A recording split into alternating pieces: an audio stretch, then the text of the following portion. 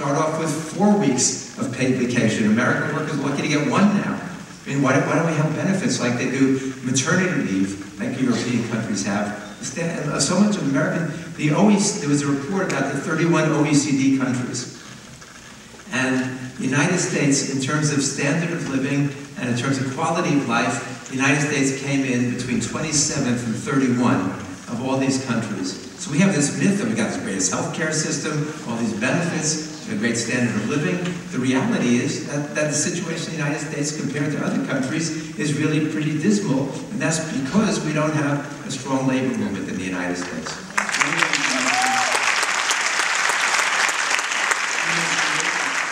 great thing about the series in the book is this uh, knocking Reagan off his pedestal. Uh, you have a whole segment on Reagan the series, and you just basically just show the bodies in El Salvador and Guatemala. You mentioned General Rios Montt, who's just been charged, uh, and yet in the corporate press here in the United States, there's no connection with Reagan.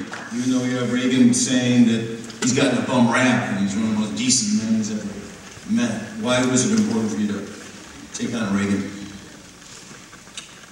For me, uh, the whole country, uh, it's interesting now.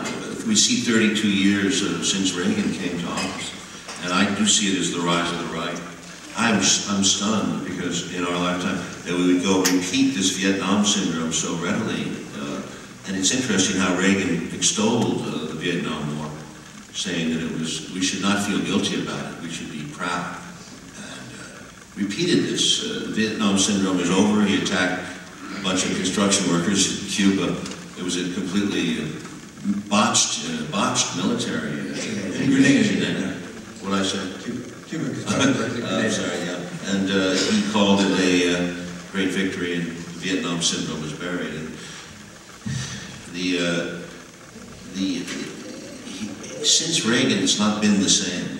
Uh, it's been redux. And all those positions, the hardline positions, have worked. They're, they seem to be the dominant issue. The, the project of the New American Century, 1997, uh, Article 8, becomes the dominant actually the unvoted document that determines our military policy, our foreign policy. And you also, you saw the, you, you have Carter just kind of merging with Reagan at the and Clinton, and Clinton too merges into this.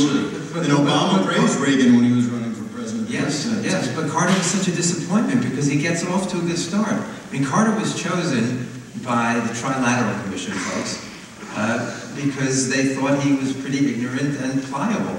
And the main person who targeted, picked, picked him out was Zbigniew Brzezinski. And then he thinks he's going to be able to tutor him and get him to do his policy. But Carter started off pretty well. And he brought in people like Paul Warnke and other people who were progressive, and his own instincts were progressive. But if you look at the last two years of the Carter administration, he's setting the stage for Reagan. He's, he's legitimizing what Reagan would do later in a much more extreme way. And one of those situations is Afghanistan. You know, the, Carter was the one who began the effort in Afghanistan, and Brzezinski says, we laid a trap for the Soviets. He says, we've given them their own Vietnam. And he knew by, by attacking the, the Soviet-friendly government in Afghanistan that the Soviets would have to intervene there. And he was glad that they did. And then what do we do? We start to, to support and to train and to arm the crazies there. And the reason why those people hated the pro-Soviet government was because the pro-Soviet government was educating women. They were giving women rights. And the people we were supporting, the Mujahideen, were the ones who were actually skinning teachers alive if they would teach women in their classes and girls in their classes. And so we get involved in Afghanistan in a way that, as we say, show blows back on us with Osama bin Laden later. Well, you have that great quote from Brzezinski where he says, what's a few crazy Muslims in comparison to the fall of the Soviet Empire? Yeah. Doesn't seem like such a smart comment after 9-11. He still defends it. So on the ride up, uh, I went down to Chicago to pick Peter and Oliver up uh, today. And I was with Paul Buhle. I want to thank Paul Buhle for setting this whole thing up.